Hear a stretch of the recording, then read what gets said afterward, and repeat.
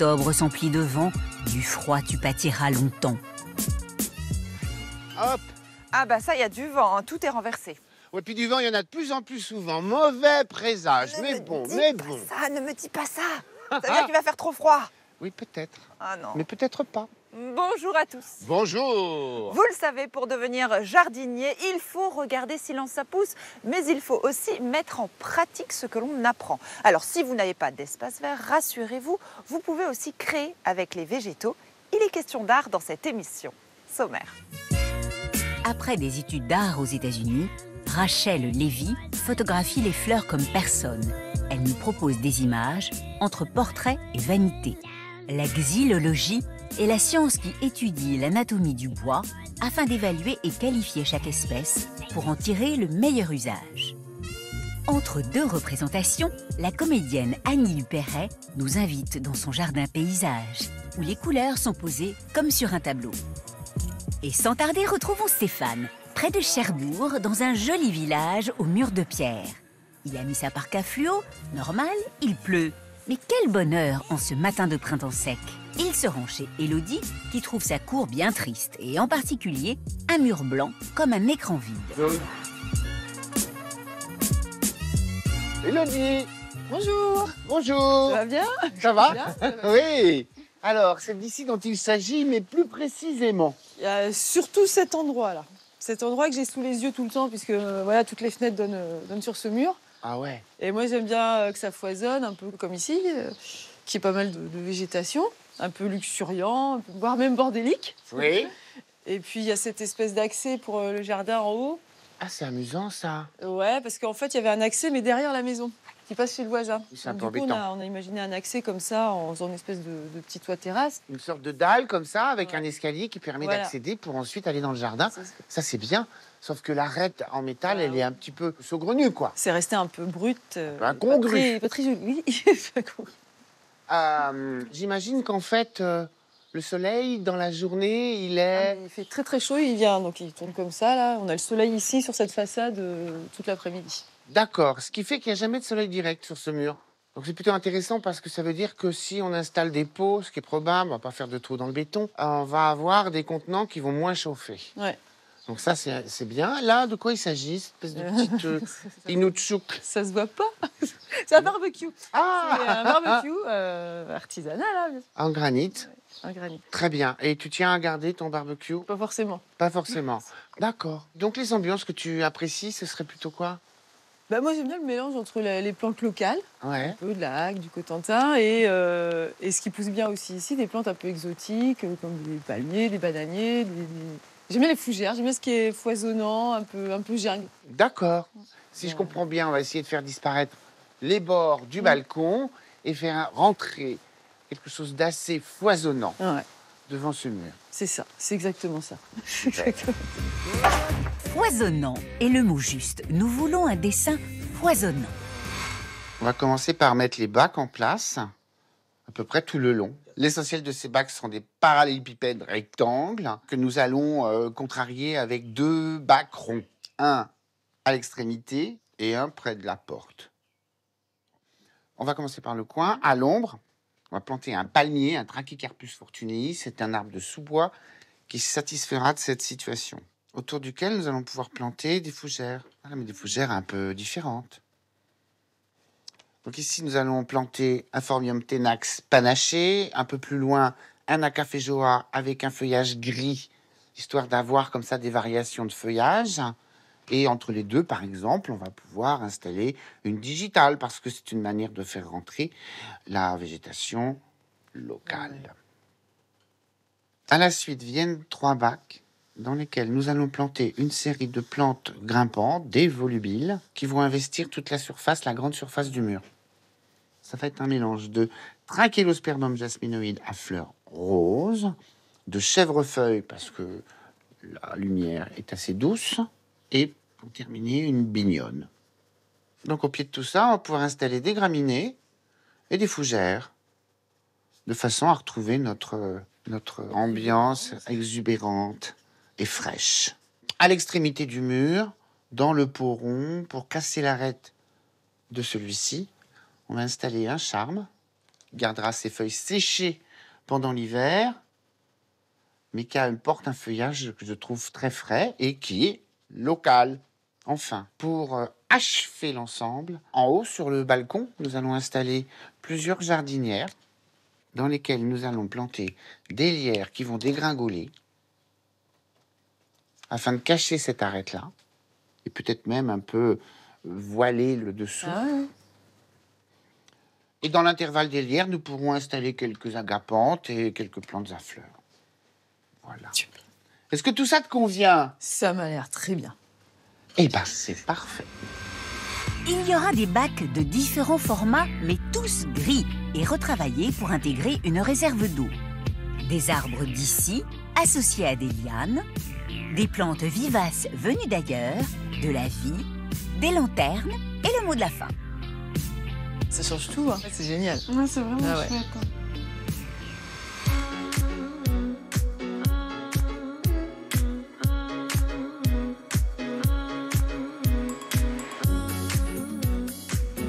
Carole, c'est le moment de retrouver Jeune Pousse, notre série dédiée aux initiatives Oui, et là, c'est une mini-série que je te propose, Stéphane, parce que nous allons aller en immersion dans les écoles. Et oui, nous allons parler de biodiversité avec les enfants dans le cadre du programme Erasmus.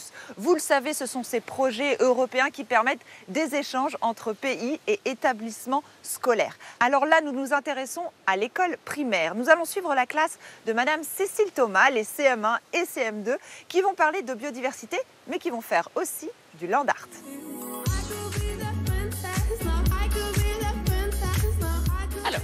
Vous savez que nous travaillons donc avec nos partenaires européens sur le projet SDGs Action. En français, les objectifs du développement durable. Qu'est-ce que c'est que la biodiversité? Eh bien, si on prend l'ensemble de tous les végétaux et de tous les animaux sur un territoire donné ou sur la planète, on appelle ça la biodiversité. Bio comme biologie et diversité, c'est quand on a beaucoup de quelque chose. Cécile, quel est le but de cette séance? Pourquoi parler de biodiversité aux enfants? Alors la biodiversité est très importante euh, dans l'optique du développement durable. C'est un des thèmes euh, majeurs pour l'avenir. Euh, les enfants sont extrêmement réceptifs et moi j'ai à cœur de leur transmettre mes connaissances et de les sensibiliser à des sujets euh, tellement importants pour l'avenir de la planète.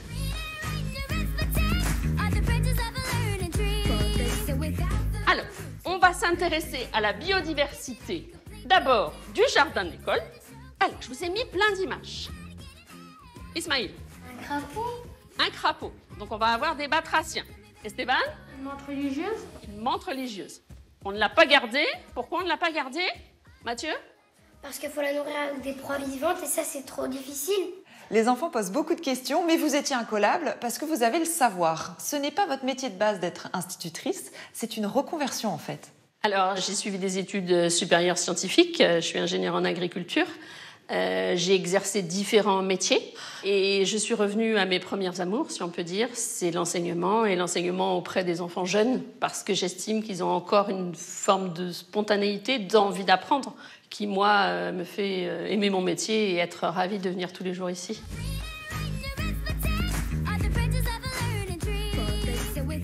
Et très important, l'homme fait aussi partie de la biodiversité.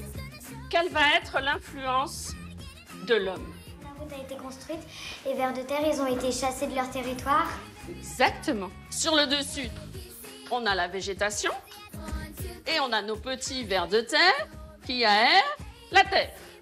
Maintenant, je viens construire un parking. Qu'est-ce que je fais?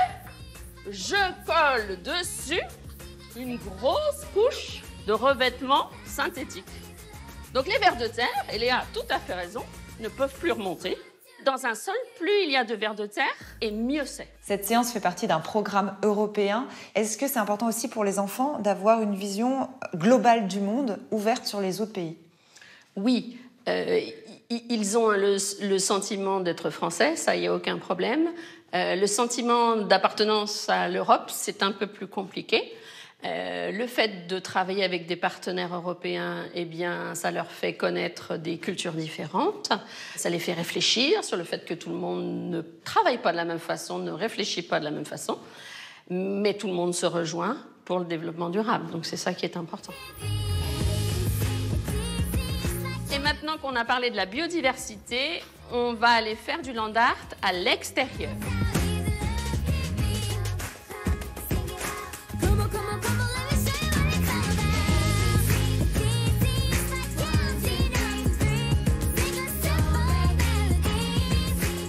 Elena, toi, tu es inquiète pour la planète ou pas? Bah oui, parce que de plus en plus on construit d'immeubles, de plus en plus il y a des animaux qui meurent et moi il y a un animal que j'ai jamais vu parce qu'il n'existe plus et que j'aurais aimé voir, c'est le dodo. Et donc toi, tu te bats pour qu'on prenne plus soin de la planète. Qu'est-ce que tu fais dans ton quotidien? Bah hum, déjà dans mon jardin, quand je trouve euh, des endroits assez libérés, bah j'essaye de planter des petites choses. Chez ma grand-mère, j'aime bien l'aider à cueillir les fruits. Et je trouve que hum, quand ça vient du jardin, c'est meilleur que ce qu'on achète. C'est ce que je voulais savoir. Bon, on en a assez ou pas? Oui. On va créer Je vous suis. J'ai aucune idée de ce qu'on va faire.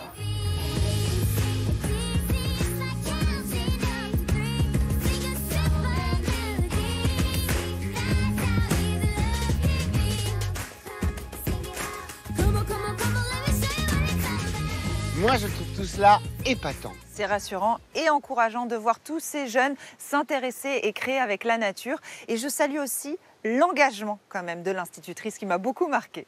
La semaine prochaine, Stéphane, on saute quelques classes et on passe au collège. Mais vous, si vous avez envie d'avoir plus d'informations sur les programmes Erasmus, sachez qu'en ce moment, ce sont les Erasmus Days, une grande fête européenne. À présent, nous allons philosopher avec Rachel Lévy. Elle est photographe et elle s'intéresse aux fleurs fanées. C'est vrai que nous, on a tendance plutôt à les regarder dans les champs ou en beaux bouquets. Finalement, les fleurs sont le miroir de notre vie.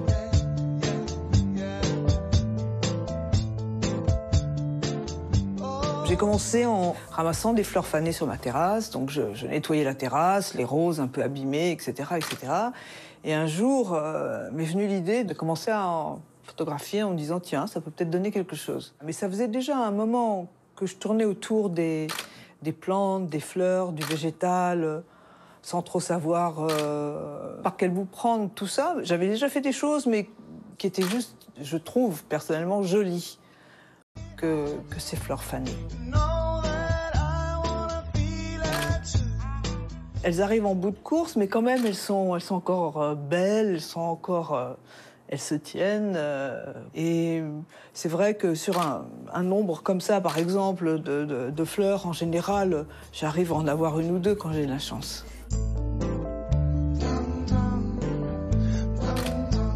C'est pas des fleurs de fleuriste, c'est des fleurs que j'ai cueillies dehors, donc qui ont vécu, ces fleurs-là ont vécu les intempéries, ont vécu le, le soleil, la pluie, le vent, etc.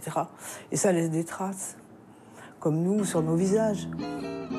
Les choses de la vie nous laissent des traces sur le visage. Ben, les fleurs, c'est pareil. Voilà. Si les fleurs qui bordent les chemins se fanaient toutes. Les fleurs fanées, euh, ça m'a intéressée tout de suite, d'abord parce que c'était très beau. Et ensuite, il y a eu toute la réflexion et tout ce que ça peut sous-tendre de photographier du végétal euh, en fin de vie. Quoi. Cette beauté particulière m'a intéressée. Le fait qu'ensuite, on... ça fait un peu réfléchir. La vie, c'est un peu un feu de paille qui, c'est là et puis hop, c'est parti. Et aussi euh, quelque chose du côté des vanités quand même. Voilà, ce sujet-là aussi m'intéressait.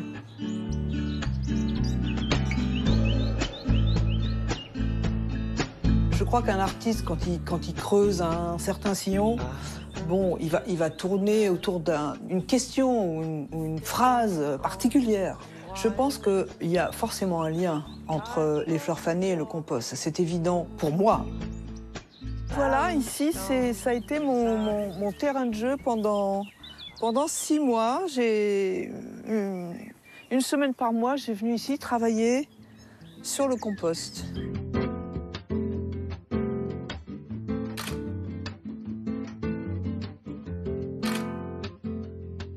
but réellement en faisant ces photos, c'est d'abord de donner à voir ce qu'on n'a pas trop envie de regarder ou qu'on pense pas regarder.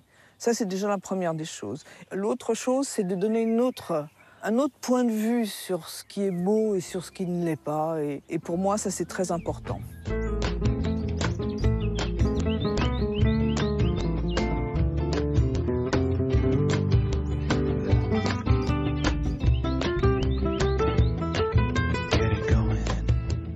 En fait, au début, j'ai commencé euh, comme ça, à, photographier ce qu'on poste. Effectivement, c'était pas beau du tout. Et euh, j'étais un peu catastrophée. Je- Donc, euh, j'ai travaillé, travaillé, travaillé. Et tout d'un coup, m'est venue l'évidence que c'est la lumière qui fait aussi le travail, c'est le soleil qui fait le travail. Et donc, j'ai décidé d'inverser les noirs et les blancs, tout en gardant les couleurs. Donc, c'est un, travail avec des images, en superposant certaines images. Et là, ça a été euh, Alléluia, Eureka, tout d'un coup. C'était comme si on avait posé toutes ces choses qui sont fr- franchement pas belles à voir sur une table lumineuse. Si les fleurs qui bordent les chemins se fanaient toutes demain. Je ne suis pas euh, botaniste, etc., mais c'est vrai que je, je, je me couche avec des livres de, de botanique. Je sais pas pourquoi, c'est le truc qui m'endort, et puis je me répète les noms en latin, dans ma tête je les oublie souvent, mais euh, voilà. C'est-à-dire que j'ai besoin aussi de savoir de, de quoi je parle, euh, comment les choses se passent, euh, quelle est cette fleur, quelle est cette plante, qu'est-ce qu'il lui faut, comment elle vit. Euh, c'est un tout, quoi. C'est un tout. C'est pas juste venir avec son appareil, faire, faire des photos. Et... C'est un tout. Quand la vie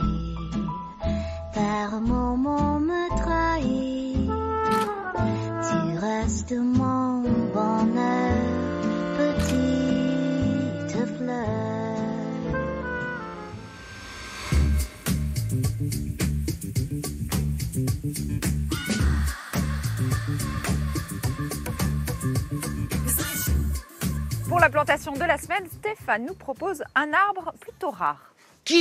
Était plutôt rare il y a quelques années. Cet arbre, c'est le Phaejoa celoviana. C'est un arbre à présent que nous plantons régulièrement dans les pas de panique hein, parce que il a un feuillage persistant, gris, il est très élégant.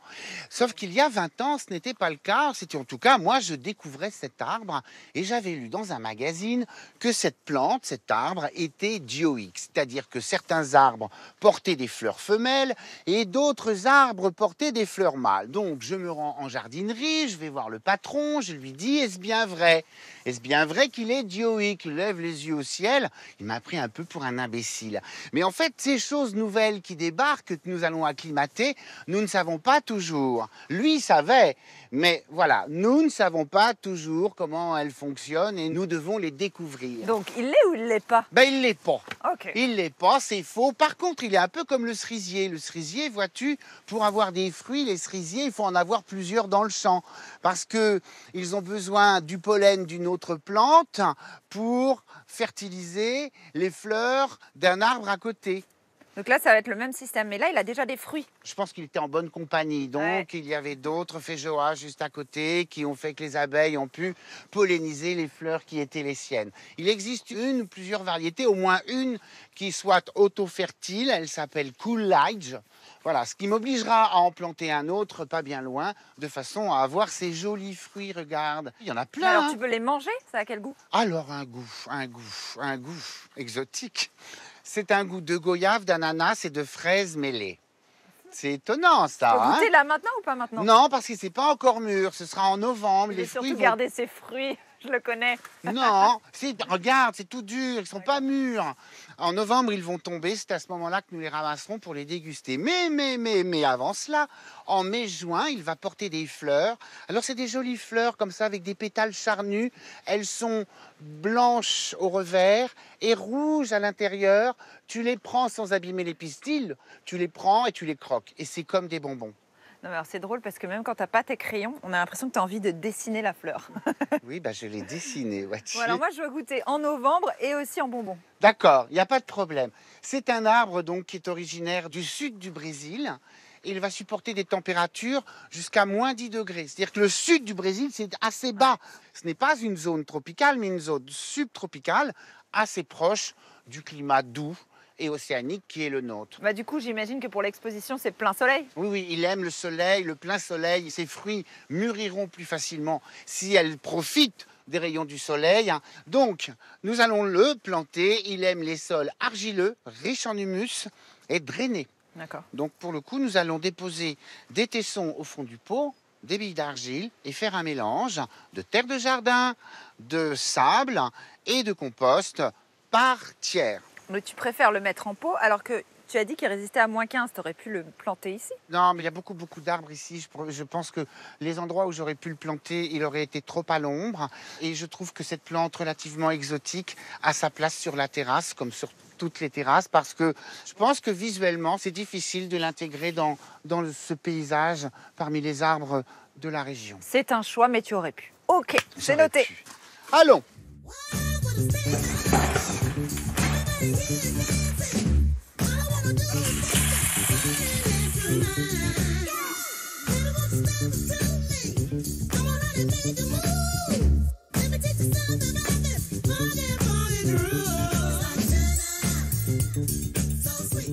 peu d'eau et du pays, je suppose. Oui, voilà, un petit peu de paillis, s'il te plaît, Hop, pour limiter les arrosages.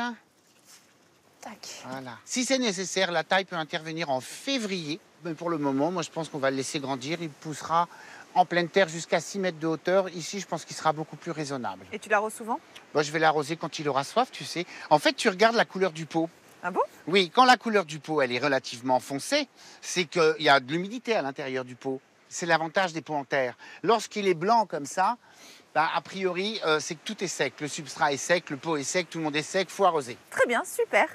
Bon, si vous aimez le bois, le reportage qui va suivre va vous passionner. Nous allons l'analyser, mais aussi le contempler. Je ne sais pas si vous vous souvenez de Michel Robillard, cet ébéniste à la retraite qui avait créé une deux chevaux entièrement en bois. Quelle est sa prochaine folie? Je vous laisse découvrir. La France dispose d'une ressource variée d'essences de bois. Chacune a sa spécificité, lui permettant de répondre à des usages précis pour la construction, le revêtement intérieur et extérieur ou la menuiserie. Les caractéristiques physiques, mécaniques et technologiques rendent les différentes essences aptes à l'emploi auquel nous les destinons, comme par exemple construire en bois la réplique d'une véritable fourgonnette. Là, on a du poirier. Alors là, merisier hein, ou cerisier sauvage.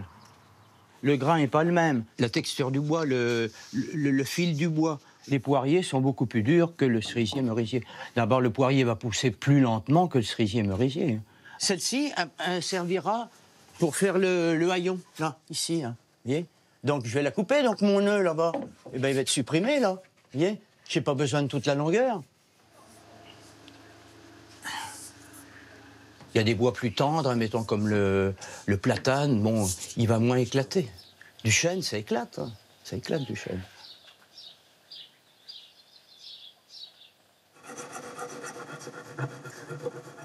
Là, c'est la porte à coulisses. Donc la porte qui va être sur le camion, la porte qui se coulisse. Là. Donc c'est la réplique de cette porte. Ça, c'est des bois qui sont très, très résistants. hein. Le poirier, c'est résistant. Mais bon, c'est un petit peu plus lourd. Parce qu'une épaisseur de tôle qui est en 10 dixièmes, euh, moi, je vais être plus, plus épais, forcément. Moi, ça va pas rouiller. hein. Le bois ne rouille pas, mais il recèle aussi bien d'autres propriétés. Analyser les essences de bois est une discipline spécialisée de la botanique. La xylologie permet de mettre en évidence la structure cellulaire des tissus et les caractéristiques propres à chaque essence. Le bois, c'est très curieusement le matériau le plus ancien que l'homme ait utilisé. hein, depuis la préhistoire, on utilisait du bois. Et il a été analysé euh, de façon scientifique, hein, et non plus empirique, qu'au milieu du 19e siècle. Alors c'est une science qui est assez, assez neuve.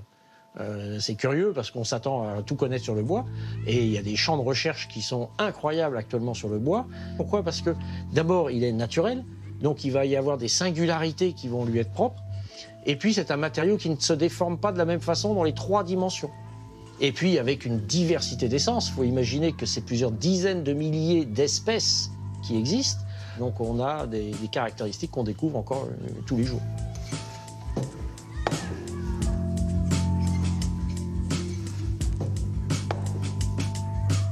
on se rend compte en regardant ce bain-marie, euh, ben, c'est qu'on a des bois qui sont très flottants, hein, qui sont des densités de l'ordre de 0,5, l'eau étant à 1 bien sûr. Et on a des bois qui sont au-delà des 1, hein, par exemple ici de l'azobé, l'ophiravata, et puis ce bois, bah, il coule. On est avec une densité d'1,2. En Afrique, on l'appelle le ironwood, bois de fer évidemment. Et alors, pourquoi on a cette, euh, cette différence? Bah oui, c'est effectivement parce que dans les vaisseaux du bois, on va avoir ce qu'on appelle en biologie des lumens, c'est-à-dire des trous qui sont plus ou moins gros.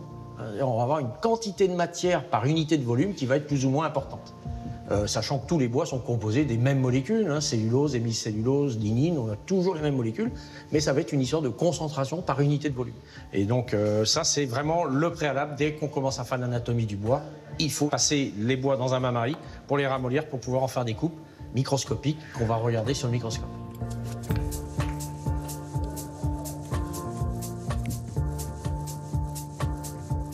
Alors, l'échelle, là, euh, là, on a grossi 400 fois quand même. Qu'on voit ici, ce qui est assez caractéristique des pins, donc c'est ces ponctuations. Vous voyez, vous avez ce qu'on appelle les trachéides, c'est en fait les vaisseaux du bois. hein. Dans les résilients, on appelle ça les trachéides. Donc les trachéides verticales et horizontales, qui sont aussi radiales. Et des trachéides radiales, pardon, ont comme caractéristique sur les pins, hein, le genre pinus, d'être dentelés. Donc ça, c'est la première chose qui va nous dire on est sur un pin. Après, la question de savoir est-ce que c'est un pin maritime, un pin sylvestre, un pin nigra, il y, a plein de types de pins. Et donc là, on va aller chercher maintenant dans les champs de croisement, c'est-à-dire à, l'intersection en fait entre ces trachéides, verticales et horizontales. Tu vois ici, là, là, tout ça, ce sont des ponctuations aérolées, c'est-à-dire ponctuation, ça va être des, des petits passages entre ces différents vaisseaux qui vont permettre justement les échanges liquides et gazeux entre les différentes euh, trachéides. Donc ça, on est sur des trachéides a- aréolés, et dans les champs de croisement qu'on voit probablement un peu plus bas, et qui sont pinoïdes. Voilà. Donc vous voyez, chaque ponctuation va avoir une forme qui va lui être propre. Et dans le pinus pinaster, le pin maritime, elles sont pinoïdes. En fait, les caractéristiques peuvent être très différentes. C'est-à-dire que de l'endroit où le bois va pousser, l'arbre va pousser, ben on va avoir des largeurs de cernes d'accroissement qui vont être très différentes. Alors, si je prends par exemple un pin euh, sylvestre qu'on trouve partout, eh bien, s'il a poussé en plaine ou ici, on va avoir des cernes d'accroissement qui vont être suffisamment espacées. Mais si on prend cette même essence de bois, toujours ce pin sylvestre, et qui a poussé, lui, en Sibérie, eh bien, on va avoir des cernes d'accroissement qui vont devenir presque millimétriques. hein. On est en moyenne en- entre 0,6 et 0,8 millimètres la largeur du cerne d'accroissement. Et évidemment, ça va conférer au bois bah, des caractéristiques mécaniques, type densité, dureté, résistance à la flexion, à la compression, à la traction, élasticité, qui vont être complètement différentes. C'est grâce à toutes ces différentes propriétés que notre ébéniste à la retraite est fier de présenter sa première création, une de chevaux exclusivement réalisée en arbre fruitier. Donc ici, on a du noyer. Ici, on a une construction du capot qui est en pommier et poirier. Donc on a les portes là qui sont en merisier et le coffre arrière en merisier. On peut tout faire avec du bois. hein.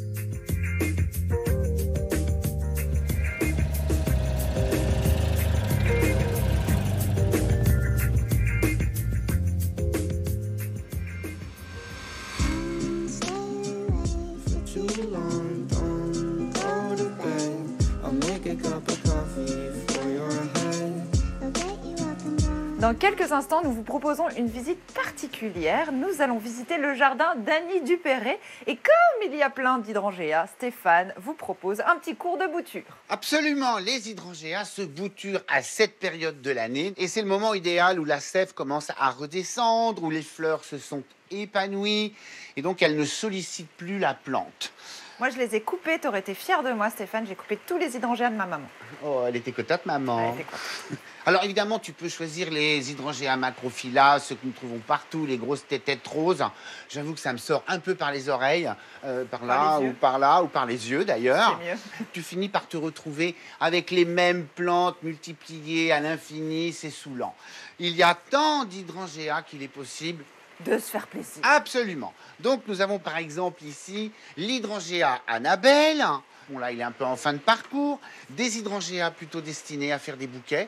Celui-ci est, hein. très structuré comme Ouais. ça, il est très très très joli. En petit bouton. Ici nous en avons un C'est mon préféré.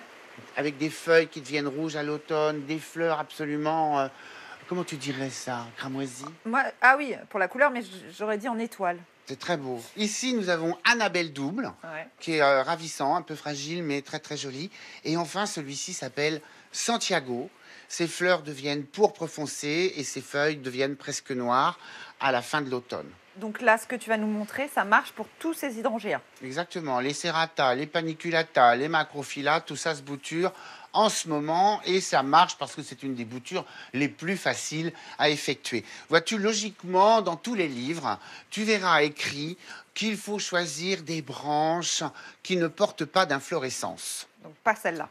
A priori, pas celle-là. Sauf que, à la saison, la fleur, elle a fait ce qu'elle avait à faire. Elle est en train de sécher et donc elle ne va plus solliciter la plante. Si elle était en bouton, elle allait Bien solliciter et, et- et puiser la plante. Alors que là, l'affaire est faite. Donc éventuellement, s'il y a des fleurs au bout et que tu ne trouves pas de tige exempte de fleurs, prends-en tout de même avec des fleurs, ça marchera, je te le garantis. Donc on panique pas. On panique pas. Donc, nous allons préparer un mélange d'un tiers de sable et de deux tiers de terreau.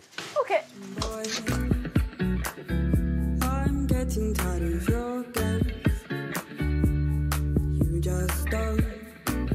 Oh, c'est bien ça Ça, je sais faire. C'est parfait. Donc, par exemple, nous avons coupé des tiges, alors, lorsque c'était possible, parce que certaines variétés sont moins poussantes que d'autres, tu vois. Nous avons pris Ah des non, j'ai tiges. pas compris ça. C'est-à-dire qu'il y a des variétés qui font chaque année des tiges plus ou moins hautes. D'accord. Voilà, Annabelle va nous faire des tiges d'à peu près 50 cm, alors que ce petit-là, à bouquet, va nous faire des tiges un peu plus modestes. Tu vois, ici c'est l'an dernier et là c'est cette année. Ouais, Donc, a priori, si je trouve une tige de 40 cm, c'est bien.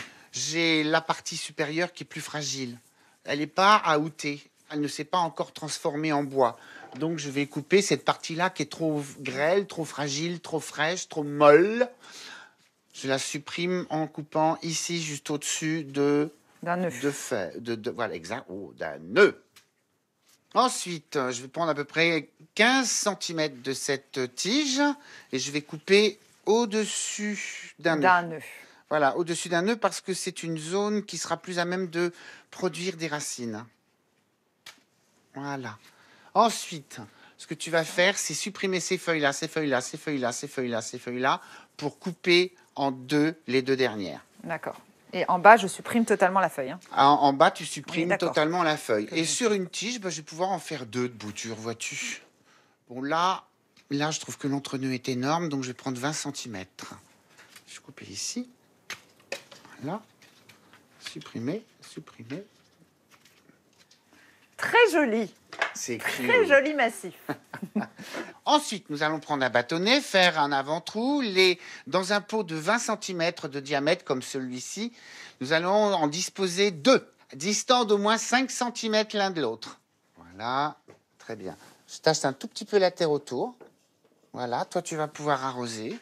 Et ensuite, nous allons disposer ces boutures pendant tout l'hiver à l'intérieur, dans un endroit pas trop ensoleillé, à l'abri du vent et des intempéries, et en surveillant les arrosages, sans que ce soit trop humide, bien entendu, sans quoi les boutures pourriraient, mais tout de même un tout petit peu frais. Et au printemps, nous pourrons dépoter nos boutures et les installer directement en place dans le jardin. Tu sais exactement où? Pas encore, j'ai l'hiver pour y penser. Ok, à présent, nous vous l'avons promis, la visite particulière, c'est maintenant. Nous partons découvrir le jardin d'Annie Dupéré. Célèbre comédienne et écrivaine, elle a partagé la vie de Bernard Giraudot. Ensemble, ils ont développé la passion du théâtre, mais aussi du jardin. Dans les années 70, l'acteur Bernard Giraudot invite sa compagne Annie Dupéret dans la masure qu'il a acquise dans la Creuse. C'est dans ce lieu que la comédienne découvre l'amour du jardin et compose avec le temps un paysage coloré digne du peintre Pierre Bonnard. Annie, raconte-moi cet Alors, endroit. Voilà, écoute, bah, il y a 42 ans, 42 ans, 43 même, on s'était rencontrés avec Bernard et il avait cette toute petite ferme. Et j'aime mieux dire que pour imaginer faire une maison de famille ici, agréable, fallait de l'imagination. Alors Bernard s'est beaucoup collé à la maison, maçonnerie, les murets, tout ça. Et moi, c'était le jardin. J'ai pour la première fois de ma vie bêché, euh, ce qui m'a beaucoup ému d'ailleurs. J'ai fondu en larmes, je me suis assise et j'ai eu un grand coup d'émotion. Et ça n'est que beaucoup plus tard que j'ai compris que creuser la terre, c'était creuser là l'endroit où étaient mes parents. Hmm. Le premier coup d'émotion étant passé, après j'ai eu un plaisir fou à faire vivre des choses. Quoi. Et puis là, tout d'un coup, pouf. Et pouf. Et ça devient un jeu, quoi. Ouais, ça m'a passionné, le jardin, absolument passionné. Bernard se lassait un peu au bout d'un moment. Il disait sur Terre, il y a les défricheurs et les cultivateurs. Et en fait, c'était un défricheur. C'est clair. Voilà. Et il aimait tant qu'il y avait des choses à inventer et tout ça. Et une fois que c'était planté et qu'il fallait entretenir, Et ce qui est amusant, c'est donc qu'au départ, c'est beaucoup plus petit. oui. Et toi, tu fais des mix borders, Et comme voilà. c'était un peu la mode à des- l'époque. À, à l'époque, oui, oui, très anglais comme ça. Alors j'ai fait ça pendant au moins 20 ans. Puis là, il y a un moment, j'ai dit attends. Là, les 600 mètres carrés de massif, ça va bien. La petite vivace a dédoublé, à refaire une touffe, ça va. On va remettre la moitié en herbe déjà, et puis on va planter des arbustes, ça sera très bien. Et puis en fait, l'arbuste fait, fait la structure et on, on en a un peu fini avec le massif anglais qu'il faut désherber. Ouais. On, on laisse un peu.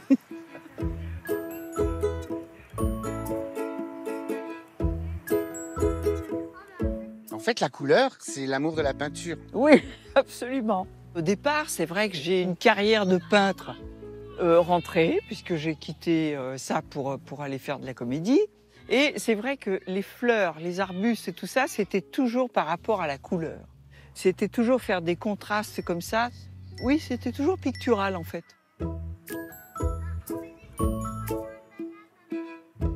Et là, c'est un vestige de mur Oui, c'était un champ à vache, quoi. où il faut imaginer que tout ça été en prairie. En prairie. En prairie, il n'y avait rien. Mais on était frappadingue. Tu sais qu'on jouait, quand on s'est rencontrés, on a joué un an et demi une comédie musicale. On partait euh, le dimanche soir après la matinée, 6 heures de route à l'époque. Ouais. Moi, j'arrachais les ajoncs, les ajoncs, là, il y avait plein d'ajoncs en horreur. J'arrachais les ajoncs, j'étais au jardin, lui, il plantait les murets, etc. Et on partait pour rejouer le mardi, mais vraiment à 2 heures de l'après-midi pour arriver pour se maquiller, tu vois Épuisé. épuisés, mais bon, on avait bossé comme des malades et j'avais même inventé à l'époque le vernis couleur chair pour cacher la terre qui ne partait plus. pour que le premier rang ne voit pas voit mes pas ongles mes ongles de absolument noirs de terre. Avec le temps, le jardin s'agrandit. Les arbres font leur entrée, choisis précisément pour les teintes et les silhouettes qu'ils seront à même d'apporter à la composition. Et par là, je m'étais fait un petit délire d'érable du Japon, puisque tu peux les planter ici Mm. tels quels, tu vois. L'automne, c'est super. En fait, petit à petit, le jardinier devient jardinier. Il a fallu quand même apprendre beaucoup de choses Ah parce oui, que oui, tu oui, maîtrises complètement Ah bah, le il nom a, des il a arbres. fallu potasser euh, beaucoup. Celui-là, j'aime bien, c'est un cerisier du Japon à fleurs. J'aime bien le nom, c'est Shimitsu. Oui, on peut le faire. c'est pour ça qu'on le retient.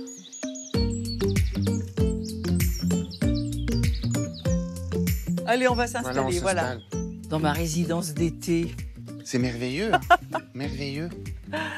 Oh, écoute, Donc là, on est tout en haut du jardin. Là, on est tout en haut du jardin, en fait, à 12 mètres au-dessus du jardin, parce qu'ici, on monte à l'étang. En fait, c'était un terrain tout en pente, comme ça, et au milieu, il y avait plein de sources, comme ça. On pouvait pas marcher là sans laisser sa botte, tellement ça, ça collait, comme ça. Et puis voilà, avec l'arboretum de baleine que tu connais à côté, avec Madame Courtex, j'ai cherché des arbres, quoi. Et j'ai arrêté de compter à 100 175, 180 espèces d'arbres différentes. Et puis, je les ai plantés, puis maintenant, ils grandissent. Et en fait, les arbres, une fois qu'ils sont installés, c'est tellement gratifiant chaque année. C'est merveilleux comme à un moment, ça se fait tout seul quand même. Mais c'est grand. Je crois qu'en tout, tout autour de la maison, il y a 4 hectares. Donc c'est, on, est, on est à la limite du parc, non? Oui, mon parc. Donc si tu vois ce petit, enfin petit, il n'est pas si petit que ça, ce petit chalet en fait. c'est parce datcha que Ma datcha, ma datcha, je venais écrire là. Et puis c'est devenu une sorte de maison d'été. Et puis c'est devenu une sorte de maison d'été parce que la famille s'agrandissant, c'est pas avec tristesse du tout que j'ai dit tiens l'été je m'installe ici et je laisse toute la maison aux enfants en bas. Et ce qui est bien, c'est qu'en fait, c'est complètement ouvert. Ouais. Et en fait, tu vois le jardin de. Le jardin de partout comme ça, du moins la partie du haut, voilà.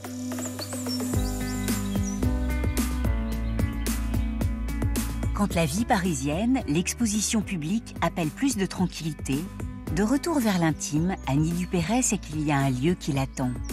Où retrouver le lien avec la nature, ces arbres qu'elle a plantés, une toile qu'elle a peinte, dans laquelle elle a bien voulu nous convier.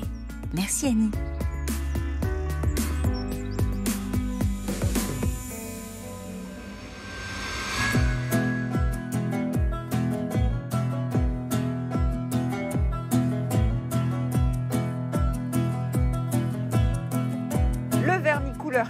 Je retiens l'astuce, chère Annie.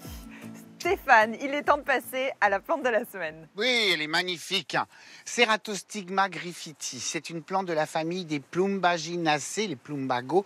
Celui-ci est originaire de l'Himalaya. Et je dis celui-ci parce que c'est un arbrisseau.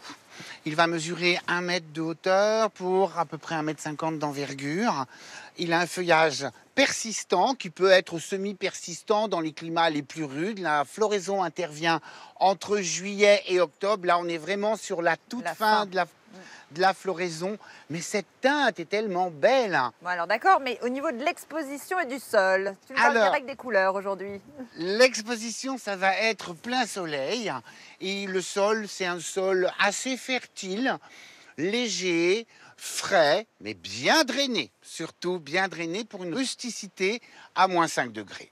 Toute relative, je te l'accorde. J'adore ce bleu absolument inouï chez une plante. Et aussi, tu vois, c'est Son c'est côté punk. Oui, c'est complètement. Il y a des toupets comme ça, les fleurs apparaissent dans des toupets qui deviennent rouges pourprés. C'est très élégant. Son nom à nouveau? Ceratostigma griffiti. Comme vous avez adoré le gilet de Stéphane, nous retournons directement au domicile d'Élodie. Le mur va-t-il se transformer? La réponse, c'est tout de suite. Stéphane profite de la pluie du Cotentin avant de rejoindre Élodie dans sa petite cour. Elle trouve l'endroit désolé, déplore un mur bien nu. Le dessin propose de faire entrer des végétaux, vus dans les jardins alentours ou plus exotiques. Est-ce que tout ça te convient? Ça m'a l'air très bien. Eh ben, c'est parfait.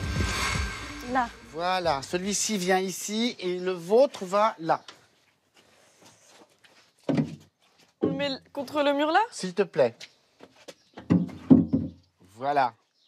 Donc, on va installer tous les pots, voir où ils vont exactement, de manière à faire au plus juste. Ensuite, nous allons boucher les trous qui sont au fond des pots, en faire d'autres sur les côtés, de manière à avoir une petite réserve d'eau, ce qui rendra les arrosages un peu moins contraignants et un peu moins fréquents.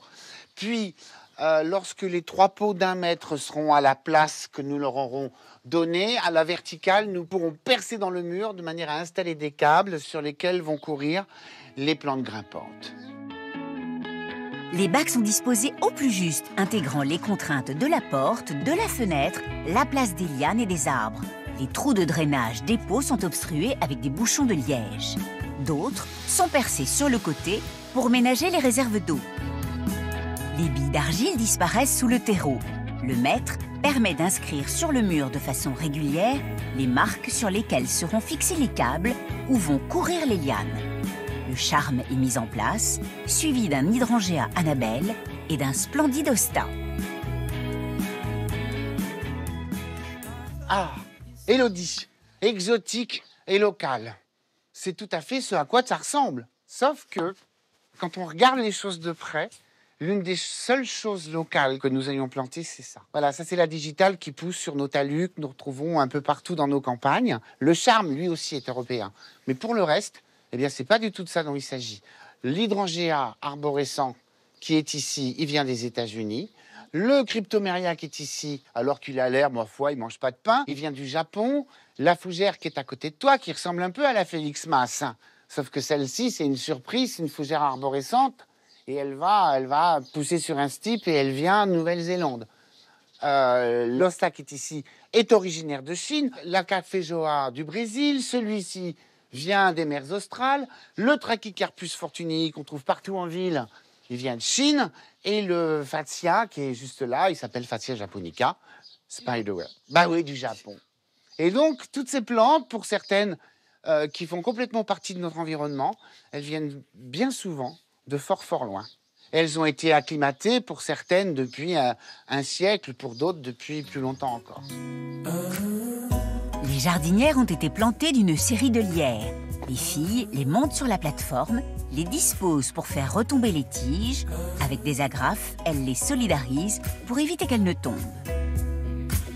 Derrière, d'autres jardinières sont plantées de petites agapantes. En bas, quelques graminées sont installées. Du paillis de cosse de fèves de cacao est étalé en couche épaisse au pied des végétaux. Ah, voici les lanternes.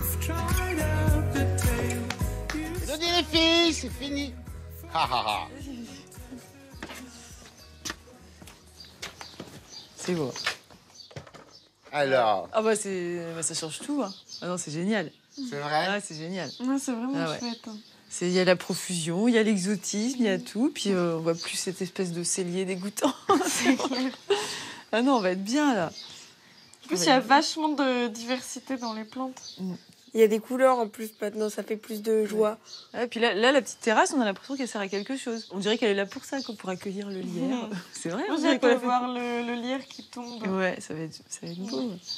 Ah non, c'est génial. Il y a les fougères, il y a tout. Il y a tout ce qu'il faut. il y a tout.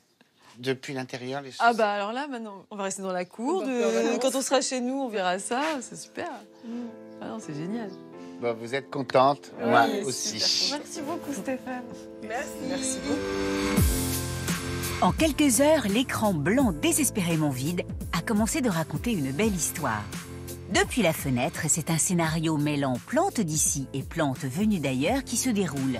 Un exotisme parfois insidieux, parfois évident, qui nourrit toute la richesse des jardins de la région. En haut, la plateforme permettant d'accéder au jardin semble moins brutale. Un foisonnement qui satisfait Élodie et ravira tous ses proches.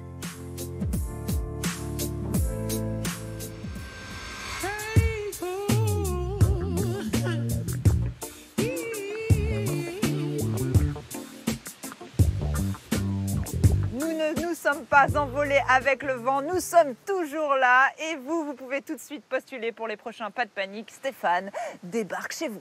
Tel un migrateur, coin, coin, et pour cela, il va falloir remplir la fiche d'inscription en allant pianoter France.tv. Pensez d'ores et déjà si vous voulez des plantes exotiques ou pas, des couleurs ou pas. Et pour revoir l'émission, Stéphane? Mais vous pianotez France.tv, c'est important. On passe au livre et tout à l'heure on parlait de bois. Alors moi je vous ai choisi un livre atypique, Histoire d'un arbre aux éditions Ulmer. C'est écrit par Mathias Bonneau. Alors Mathias Bonneau en fait il est bûcheron mais avant c'est un étudiant en architecture. Donc il a un sacré coup de crayon et il te propose Stéphane un carnet vraiment très drôle parce que ça retrace l'histoire d'un être. L'être, un être, un être qu'il a mal coupé et il a décidé d'en faire un fauteuil avec ses copains. Alors toute l'histoire est dessinée, c'est vraiment sympa à lire parce que tu as des conseils et beaucoup d'humour. Par exemple là tu vois, on veut contrarier la direction naturelle de la chute d'un être. Maintenant il sait très bien comment faire et en fait à l'intérieur tu vas avoir toutes les étapes. Donc à la forêt, à la scierie. Comment on dessine un plan détaillé après du fauteuil, c'est une histoire d'amitié, une très jolie histoire à lire et à découvrir dans ce livre. Eh bien, comme tu dis un être, les Belges disent un être. Et comme tu dis une haie, ils disent une haie. Ah, on complexifie les choses. Tout ça pour te parler de la Belgique des jardins. Voilà, Donatienne de Séjournet, César Garçon, aux éditions Ulmer. César Garçon nous propose une visite des plus beaux jardins de Belgique. César Garçon nous avait éblouis avec l'Italie des jardins il y a quelques années. Et là, pendant deux années entières, il est allé photographier les plus beaux jardins belges, qu'ils soient du 18e, du 19e ou qu'ils soient contemporains, parce qu'il y a beaucoup de jardins contemporains. Il y a eu de grands paysagistes contemporains, Monsieur Pécher, Monsieur Wirth. Cette tradition, nous pouvons évidemment l'intégrer, la comprendre avec ces textes et surtout nous émerveiller devant ces photos extraordinaires de César Garçon. C'est un beau cadeau pour les mois qui viennent. Bon Stéphane, on se donne rendez-vous non pas en Belgique mais dans ton jardin aux couleurs automnales. Les couleurs automnales qui vont monter en puissance. Alors alors, à la semaine prochaine.